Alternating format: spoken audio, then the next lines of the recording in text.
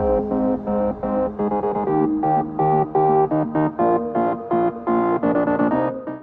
Alô brindeiros, tudo bem com vocês? Meu nome é Lucas Jerônimo, sou consultor aqui da Max Soluções e hoje a gente está aqui no nosso espaço Alô Brindeiros para tirar mais uma dúvida para vocês gravando nossos vídeos e hoje a dúvida é da nossa cliente Patrícia Campos, ela é lá de Jundiaí, São Paulo.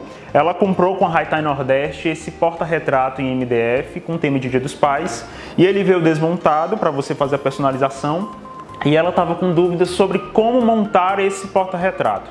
E a gente vai fazer um vídeo agora na prática com o nosso gerente Matheus Muniz, mostrando como fazer a montagem desse porta-retrato.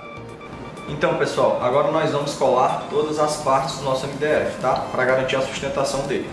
É, primeiro eu vou estar utilizando aqui a cola instantânea, uma cola que você acha em qualquer depósito, em qualquer loja de construção, tá certo? É, e eu vou estar passando aqui a cola, onde eu vou estar colando aqui a minha pecinha MDF, tá certo? Passei um pouquinho de cola. Agora eu vou estar tá colando a minha pecinha. Olha aqui. Colei, vamos deixar aqui fixar. Enquanto isso eu já vou colar a última peça.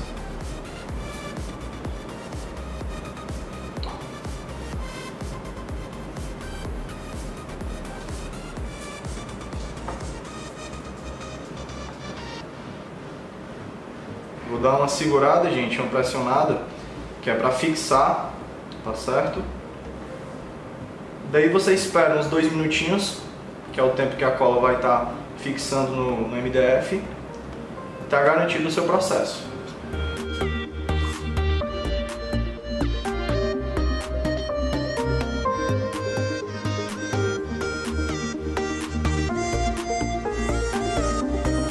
Show!